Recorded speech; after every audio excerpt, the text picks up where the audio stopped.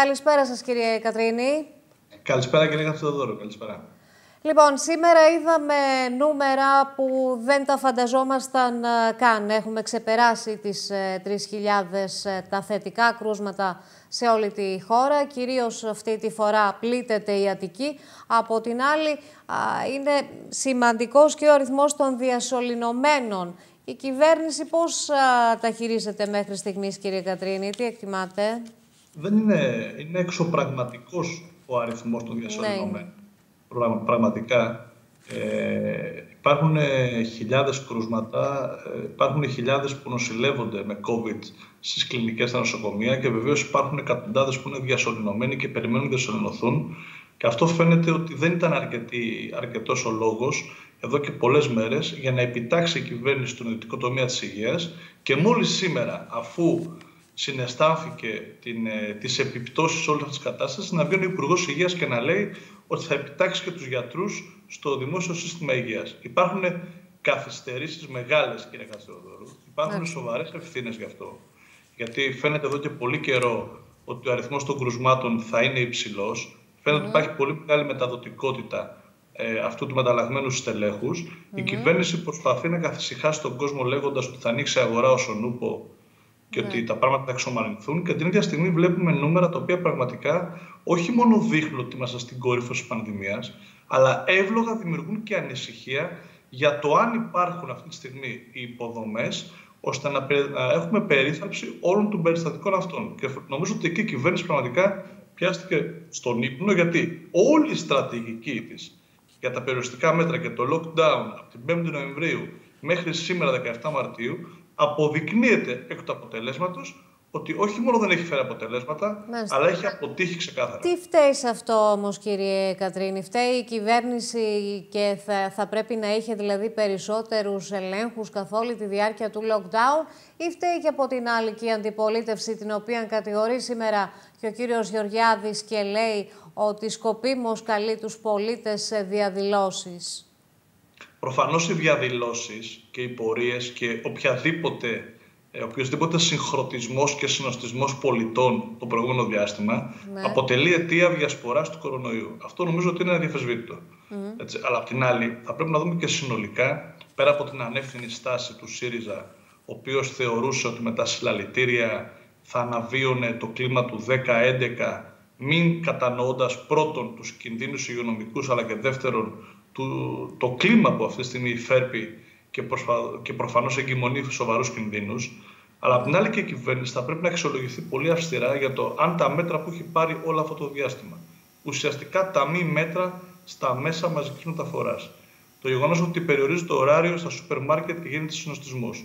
Το γεγονός ότι έχει μια αλλοπρόσαλη στρατηγική και την ίδια στιγμή, αντί να προετοιμάζει το σύστημα υγείας, δημόσιο και ιδιωτικό, ώστε να αυξηθεί εγκαίρως ο αριθμός των ε, μονάδων εντατικής θεραπείας, γιατί με βάση αυτό το κριτήριο, ξέρετε, λαμβάνονται τα μέτρα, τα περιοριστικά, να φτάνουμε σε οριακό σημείο όπως είμαστε σήμερα και την προηγούμενη εβδομάδα, ναι. που αυτή τη στιγμή τρέχει μετά τις εξελίξεις η κυβέρνηση να επιτάξει όχι μόνο τα ιδιωτικά θεραπευτήρια, αλλά και τους γιατρούς στο σύστημα υγείας, κάτι που πρέπει να γίνει εδώ και πάρα πολύ καιρό.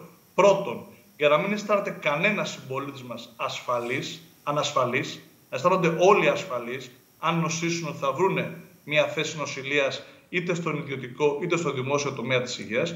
Και δεύτερον, αν χρειαστεί να νοσηλευτούν σε μονάδα ιατρικής θεραπείας, να μην έχουμε αυτά τα περιστατικα όπου δυστυχώς έχουμε διασωληνώσεις και εκτός μονάδων. Ναι. Από την άλλη όμως σε αυτό το lockdown, το τελευταίο το οποίο διανύουμε τουλάχιστον και δεν ξέρουμε πότε θα λήξει, φαίνεται ότι και ο κόσμος δεν τηρήσε τα μέτρα έτσι όπως θα περίμενε από την άλλη κυβέρνηση. Και αναρωτιέμαι και ξαναρωτώ κύριε Κατρίνη και πάλι, θα έπρεπε να είναι πιο αυστηρά τα πρόστιμα; Λόγου χάρη. Πώς θα μπορούσε να το μετριάσει, να το ελέγξει αυτό η κυβέρνηση; Να σας πω, αναμφίβολα, μετά από ένα χρόνο lockdown, γιατί σχεδόν τα τρία τέταρτα από το Μάρτιο του 20 είμαστε σε περιοριστικά μέτρα, είναι λογικό ο κόσμος να έχει κουραστεί. Να ναι. έχει μια ψυχολογική κόποση, προσωπική, οικονομική γιατί καταλαβαίνετε ότι πολλές επιχειρήσει είναι κλειστές και πολλοί εργαζόμενοι είναι με αναστολή εργασίας. Άρα νομίζω ότι μέσα στο σχεδιασμό της κυβέρνησης πέραν των εισηγήσεων των υγειονομικών, θα πρέπει να λαμβάνονται υπόψη το γεγονός ότι υπάρχει ένα σώμα πολιτών που είναι πραγματικά κουρασμένο και είναι και κουρασμένο και απογοητευμένο ναι. ταυτόχρονα, γιατί βλέπει ότι και τα μέτρα αυτά δεν αποδίδουν και την ίδια στιγμή βλέπει ότι στο οικονομικό κομμάτι η κυβέρνηση δεν στηρίζει τις επιχειρήσεις τους εργαζόμενους για το τελευταίο διάστημα που παραμένουν κλειστά με κρατική εντολή. Αυτό λοιπόν δημιουργεί μια περαιτέρω ανησυχία, μια ανασφάλεια. Ε, για ένα μεγάλο διάστημα, πρέπει να είμαστε ειλικρινείς, τα περιοριστικά μέτρα δεν ελέγχθησαν στο βαθμό που έπρεπε, άρα πέρασε ένα χαλαρό κλίμα. Όμως πλέον ε, το βασικό πρόβλημα είναι ότι ο κόσμος έχει κουραστεί, η κοινωνία έχει απογοητευτεί, δεν πιστεύει ότι τα μέτρα αποδίδουν και βεβαίως βλέπει και αλλοπρόσαλες εισηγήσεις ε, από τα κυβερνητικά στελέχη, τα οποία προσπαθούν να κλείσουν το μάτι στον κόσμο της αγοράς, λέγοντας ότι ο Σονού που ανοίγει αγορά με διαφορετικό τρόπο κάθε φορά και την επόμενη ώρα κυβερνητική εκπρόσωπος να λέει ότι δεν μπορούμε με αυτόν τον αριθμό κρουσμάτων να μιλήσουμε για άνοιγμα της αγοράς. Όλα αυτά δημιουργούν εύλογα μια αναστάτωση, μια ανησυχία, μια ανασφάλεια που κάνει τον κόσμο ακόμα λιγότερο αναθεκτικό σε ναι. οποιοδήποτε πλέον περιοριστικό μέτρο. Γι' αυτό λέω ότι θα πρέπει η κυβέρνηση πρώτον να στηρίξει σοβαρά τον κόσμο της αγοράς και τους εργαζόμενους. Δεν ναι. μπορεί με τους κόφτες και με τα περιορισμένα μέτρα που δίνει ρευστότητας να θεωρεί ότι δίνει απάντηση στα προβλήματα των πολιτών. Εμείς έχουμε μια ολόκληρη δέσμη προτάσεων και για τη ρευστότητα αλλά και για τη ρύθμιση των υποχρεώσεων. Γιατί, κυρία Χατζηδόρου, η κυβέρνηση μπορεί αυτή τη στιγμή να λέει ότι ρυθμίζει τις οφειλές της πανδημίας όσον αφορά την εφορία και τα ασφαλιστικά ταμεία που είναι περίπου 2 δισεκατομμύρια. Ναι. Όμως, όταν το σύνολο των χρεών είναι 145 δισεκατομμύρια, καταλαβαίνετε ότι αυτό είναι σταγόνα στον ωκεανό. Μπορεί να λέει η κυβέρνηση ότι δίνει επιστρεπτέα προκαταβολή σε όλους, αλλά όταν το 60 και 65% αποκλείεται λόγω ότι μπαίνει το ποσοστό ε, μείωση τζίρου 20%, άρα αποκλείεται πολύ μεγάλο ποσοστό που έχει μείωση τζίρου, αλλά όχι 20%, και την ίδια στιγμή η κυβέρνηση επιδοτεί με το ενίκιο που πληρώνει ακόμα και επιχειρήσεις που έχουν αύξηση τζίρου, αυτό νομίζω σε επιχειρήσεις οι οποίες μένουν εκτός μέτρων είναι ένα μήνυμα ε, αδικίας και αστοχίας των μέτρων. Γι' αυτό λέμε στοχευμένα μέτρα στήριξης, ιδιαίτερα των επιχειρήσεων που είναι κλειστές ή έχουν πτώση τζίρου, να αυξηθεί η ρευστότητα, να έχουμε 120 δόσεις για τις οφειλές και μην ξεχνάμε ότι σύντομα θα υπάρχουν και ενοχλήσεις. Και ειδικότερα μέτρα, κύριε Κατρίνη, και για, τον, για την εστίαση, όπου έχει πληγεί περισσότερο από κάθε άλλο τομέα. Τι λέτε, διότι στις 31 του Μάρτη παραδίδουν τα κλειδιά τους ξανά στο Μαξίμου. Η εστίαση και το λιανεμπόριο είναι οι δύο τομείς που έχουν πραγματικά υποστεί συντριπτικό πλήγμα. Και αυτή τη στιγμή εντάσσονται σε ένα συλλογικό πακέτο μέτρων που εξαντλείται μόνο στην επιστρεπτέα προκαταβολή. Η κυβέρνηση ναι. λέει: Μπείτε όλοι στην επιστρεπτέα και αναλόγως τη πτώσης τζίρου θα σας δώσουμε το ποσό που πρέπει. Και όμως μπαίνουν και επιχειρήσεις, ξαναλέω, που είναι κλειστές με κρατική εντολή, όπως είναι η εστίαση, δεν ξέρω και εγώ για πόσο καιρό είναι κλειστή και για πόσο θα παραμείνει, και επιχειρήσεις που έχουν πτώση τζίρου μεν ή έχουν και αύξηση τζίρου και παίρνουν ενίκιο. Γι' αυτό λοιπόν θα πρέπει να υπάρχει ένα στοχευμένο πρόγραμμα για την εστίαση, αν θέλει η κυβέρνηση να επαναλειτουργήσει. Γιατί ξέρετε, για να ανοίξει αγορά τον Απρίλιο ή τον Μάιο, αν δεν επιδοτηθούν ασφαλιστικές φορέ για 6 μήνες, αν δεν υπάρχει ένα μορατόριο στις δόσεις τραπεζικών δανείων και στις ε, υποχρεώσεις τουλάχιστον για 4-5 μήνες μετά το άνοιγμα της αγοράς, φοβάμαι βάσιμα ότι χιλιάδες επιχειρήσεις ή δεν θα ανοίξουν καθόλου, ή με το που θα ανοίξουν, μετά από λίγο καιρό θα αναγκαστούν να κλείσουν. Αυτό τι σημαίνει, σημαίνει χιλιάδες νέες θέσεις ανεργίας. Και η χώρα αυτή τη στιγμή δεν μπορεί να ανεχτεί ε, αύξηση της ανεργίας ε, σε τόσο μεγάλο βαθμό. Γι' αυτό η κυβέρνηση θα πρέπει να είναι λίγο πιο στοχευμένη. Όμως δεν είναι και μία συνέπεια της, ε, της πανδημίας αυτό, κύριε Κατρίνη, από την άλλη. Γενικότερα, όχι μόνο στη χώρα Προφανώς μας. Προφανώς θα έχουμε επιπτώσεις από την πανδημία. Είναι σωστό αυτό που λέτε.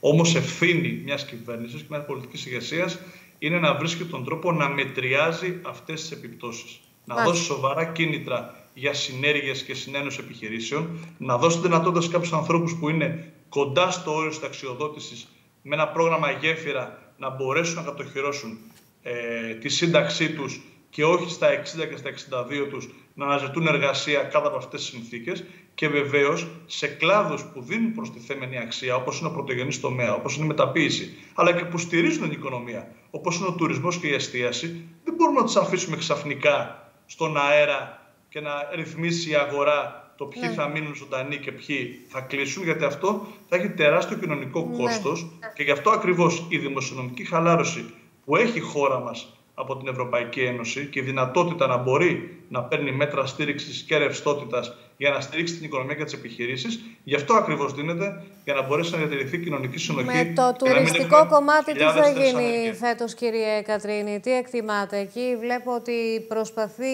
η κυβέρνηση από την άλλη να επιταχύνει τις ε, διαδικασίες, να ανοίξουν τα σύνορα με το πιστοποιητικό εμβολιασμού. Είναι ε, ορθό αυτό το οποίο προτείνει ο Πρωθυπουργός ε, και στους άλλους Ευρωπαίους ηγέτες; Νομίζω ότι αυτό είναι μια καλή πρόταση αντικειμενικά. Το πιστοποιητικό εμβολιασμού θα είναι το διαβατήριο ώστε κάποιοι να έρχονται στη χώρα μας χωρίς να χρειαστεί να μπουν σε περαιτέρω εξετάσεις και ταλαιπωρία. Όμως ε, χρειάζονται και άλλα πράγματα για να μπορέσει ο τουρισμός πραγματικά φέτος να ανακάμψει σε ένα βαθμό και να προσφέρει στην εθνική οικονομία. Χρειάζεται μείωση του ΦΠΑ στη διαμονή και στην εστίαση, ώστε να είναι δελεαστικό το πακέτο.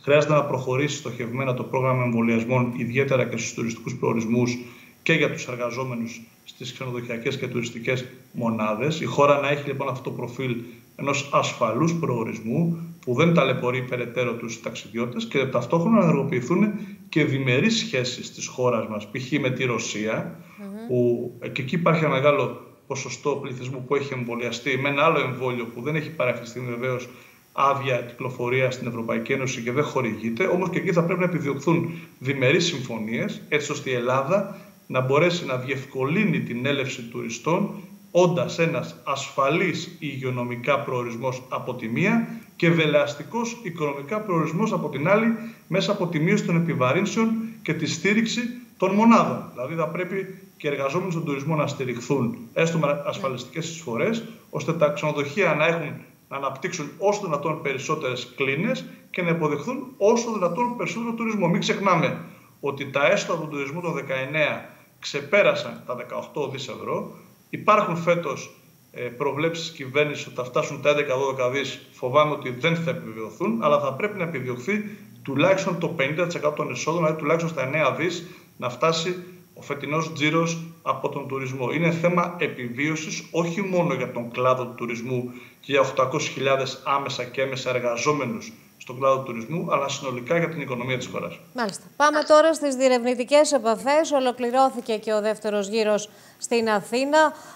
Οι προσδοκίες της ε, Ελλάδος από τις ε, διερευνητικές επαφές ποιες είναι κύριε Κατρίνη, πώς πιστεύετε ότι θα εξελιχθεί όλη αυτή η υπόθεση, μιας και έχει κλειστεί το ραντεβού δεν Τσαβούσογλου από την άλλη για τις 19 του, του Απρίλη; Εντάξει, νομίζω ότι δεν τρέφουμε ε, αυτά πάτε σε σχέση με το περιεχόμενο των διερευνητικών συνομιλιών και επαφών. Mm -hmm. ε, καλώς γίνονται. Πρέπει η χώρα μας να βρίσκεται σε ένα ε, διάλογο με την Τουρκία και πρέπει να επιδιώκει βεβαίως μέσα από τη διπλωματική οδό τη διευθέτηση των όποιων διαφορών ε, υπάρχουν με τη γείτονα χώρα. Εμείς δεν είμαστε μια χώρα που επιδιώκουμε την ένταση στις σχέσεις μας, ναι. ούτε έχουμε ε, διεκδικήσεις ε, αλυτρωτικού χαρακτήρα. Αυτό μάλλον χαρακτηρίζει την Τουρκία. Σε ναι. κάθε περίπτωση εμείς σε διπλωματικό επίπεδο ε, πρέπει να κινηθούμε προς αυτή την κατεύθυνση, αλλά από την άλλη βλέπουμε ότι δεν υπάρχει πρόοδος σε αυτόν τον τομέα, δεν υπάρχει νομίζω ειλικρινής διάθεση και από την πλευρά της Τουρκίας. Εμείς ε, λέμε όλα αυτά να, όλες οι διαφορές να είναι αντικείμενο του Διεθνούς Διευθυντικού Δικαστηρίου. Εμείς δεν συζητάμε τίποτα άλλο πέρα από την ερωθέτηση υφαλοκρηπίδας και ΑΟΣ και βεβαίως ταυτόχρονα σαν χώρα θα πρέπει να είμαστε και έτοιμοι σε κάθε επίπεδο ε, στρατιωτικό, ε, επιχειρησιακό, πολιτικό, διπλωματικό και να πιέζουμε και τους εταίρους μας στην Ευρώπη ώστε οποτεδήποτε δεν τηρηθούν όροι συμφωνίας ή δεν ε, υπάρχει αυτό το κλίμα συνένεση και διαλόγου, αλλά τα, αντίθετα αυτό το κλίμα προκλήσεων, οι οποίες δεν είναι μονολεκτικές, πολλές φορές φτάνουν και στα όρια της παραβίαση της εθνικής κυριαρχίας, θα πρέπει όχι μόνο η χώρα να είναι έτοιμη, αλλά θα πρέπει και η ευρωπαϊκή οικογένεια να δώσει κατάλληλες απαντήσεις με επιβολή κυρώσεων. Ναι. Να το δούμε και αυτό, μένει να το δούμε και αυτό στην, ε, στην πράξη. Τώρα, θα πάω λίγο στα του κόμματός σας, ε, κύριε Κατρίνη και με τις αποχωρήσεις που έχουμε και με την τοποθέτηση του κυρίου Λοβέρδου δημοσίως πια ότι θέλει να διεκδικήσει την ηγεσία του κινήματος ε, αλλαγής. Τελικά, πώς βλέπετε να εξελίσσεται έτσι η πορεία του, του κόμματός σας; Κοιτάξτε, το κίνημα αλλαγής έχει υιοθετήσει εδώ και πάρα πολύ καιρό ε, μια υπεύθυνη στάση, εθνική στάση, που έχει σχέση με την επίλυση των προβλημάτων της χώρας και τις απαντήσεις στα προβλήματα των πολιτών και όχι βεβαίως με κινήσεις μικροκομματικού ωφέλου που χαρακτηρίζουν τόσο το ΣΥΡΙΖΑ όσο και τη Νέα Δημοκρατία και θέλω να γυρίσει το χρόνο τουλάχιστον 10 χρόνια πίσω. Ε, εμείς ε, έχουμε διαδικασίες που προβλέπονται από το καταστατικό. Εξάλλου έχουμε συμφωνήσει ότι από Σεπτέμβριο θα μας απασχολήσουν οι εσωτερικές διαδικασίες. Mm-hmm. Φαντάζομαι, συμφωνείτε και εσείς, ότι σε αυτή τη συγκυρία οποιαδήποτε συζήτηση για εσωτερικά ζητήματα είναι τελείως άστοχη, είναι τελείως άτοπη. Αυτή τη στιγμή υπάρχουν σοβαρά προβλήματα. Πολύ σοβαρό mm-hmm. θέμα υγειονομικό στη χώρα με τον κίνδυνο και την ανησυχία να υπάρχει πλέον σε κάθε σπίτι και σε κάθε οικογένεια και πολύ σοβαρές ανασφάλειες και ανησυχίες για το μέλλον, το οικονομικό χιλιάδων επιχειρήσεων και οικογενειών που σήμερα περιμένουν όχι μόνο από το κίνημα αλλαγής, αλλά συνολικά από το πολιτικό σύστημα να βρει συγκεκριμένες ε, λύσεις διεξόδου από την κρίση, να δούμε μια καλύτερη επόμενη μέρα, να μπορέσουμε να διαχειριστούμε με αποτελεσματικότερο τρόπο τις επιπτώσεις της πανδημίας. Έχουμε χρόνο για τα ιστορικά ζητήματα. Πάντως δεν ε, πάβει να είναι ένας στόχος αυτός να επανακάμψει το, το κίνημα αλλαγής.